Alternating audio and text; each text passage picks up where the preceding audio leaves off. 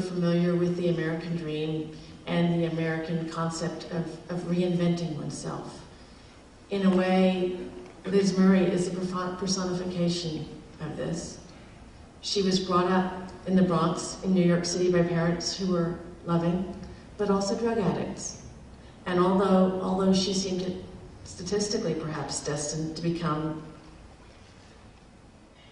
someone much like her parents, and she was homeless when she was 15. By the time she was 20 years old, she had become a student at America's very prestigious university, Harvard. She has spent the last 10 years traveling to over a dozen countries, inspiring thousands of other people, and is one of the most highly sought after inspirational speakers in the world. The same gutsy strength and determination that pulled her from the streets now empowers her to alter the lives of others, from student groups to business audiences to people from all walks of life who are seeking strategies to overcome their own obstacles. She is the founder and director of Manifest Living, a New York based company whose mission it is to empower adults to create something extraordinary out of their lives. Her inspirational story was captured on Lifetime's television original film, Homeless to Harvard, the Liz Murray story, which was nominated for three Emmys. Today you get something a little less audiovisual perhaps, but you get the author herself. So Liz, thanks for being here tonight, and we welcome you warmly, and we're really delighted that you made it. Thank you.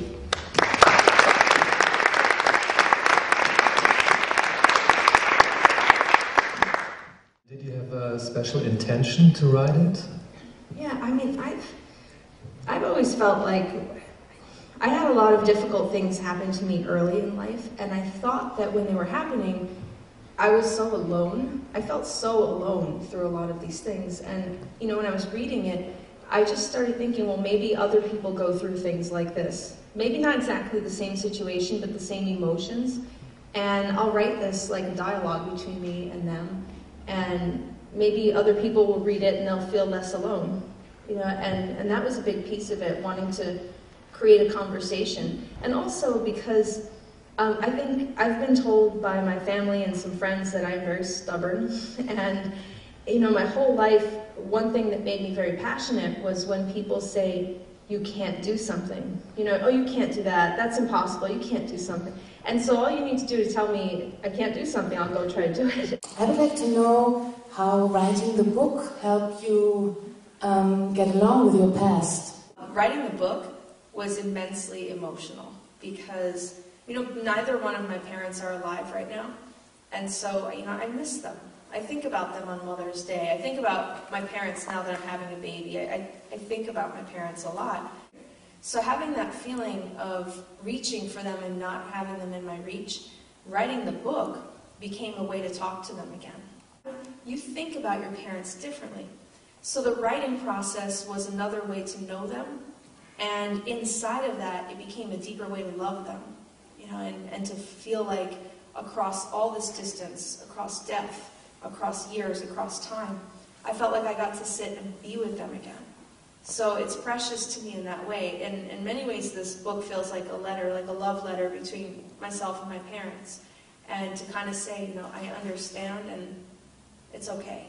So you made it in the end. When you look at your life, would you say it was luck or it was a strength of will? You know, I think that I always hear people do this either or thing. It's like, were you all, is it all that, this classic American thing of it's all hard work, you know, which we all know is not true. Like, you have to have help and social programs and things.